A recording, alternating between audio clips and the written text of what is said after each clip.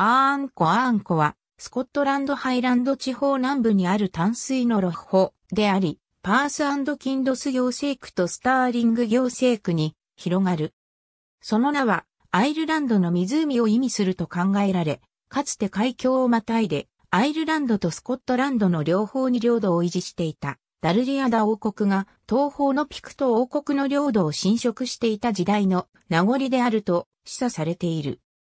クリフから西に 17km 離れた地点にある。この湖は長細い湖形をしており、全長は 10.5km、幅は最長部分で 1.2km あり、またおおよそ中心に位置する最深部の深さは 87m に及ぶ。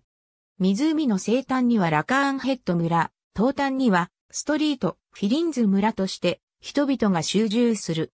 ストリート、フィリンズ村からはアーン川が湖より東へと流れ出し、ストラスアーンを貫流して、最終的には、堤湾へと注ぎ込んでいる。ラカーンヘッド村は、水上スキーカヌーヨットといったアーン湖におけるウォータースポーツの中心地である。湖には、茶マスやニジマスが定期的に放流されており、許可を得て海岸やボートから釣りをすることもできる。1906年8月、アーン湖の北をサイクリングしていたイーディス・ホールデンは、今までに見た中で最も美しいカラマツ林を観察したと記している。1964年10月、ビートルズはストリートフィリンズ村のフォーシーズンズホテルに滞在している。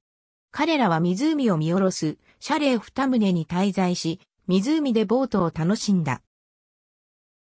ジョン、マレー、ローレンス、パラー、バサメトリックルサーベイオブザフレッシュ、ウォーターロックスオブスコットランド、1897の1909ロックスオブザテイベースンボリューム2、ロッホアーン、ナショナルライブラリーオブスコットランド、ナショナルチャレンジャーオフィサー P76 https コロンスラッシュスラッシュマップス .nls.uk スラッシュ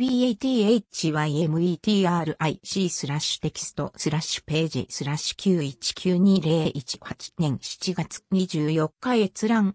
この記述にはアメリカ合衆国内でパブリックドメインとなっている記述を含む Loch Earn British Lakes、2018年7月24日、閲覧。マクノートン、D、 The History of Upper Strathearn、Jamieson and Munro、Country Diary of an Edwardian Lady、Top That Publishing、978から18億4666万153。ありがとうございます。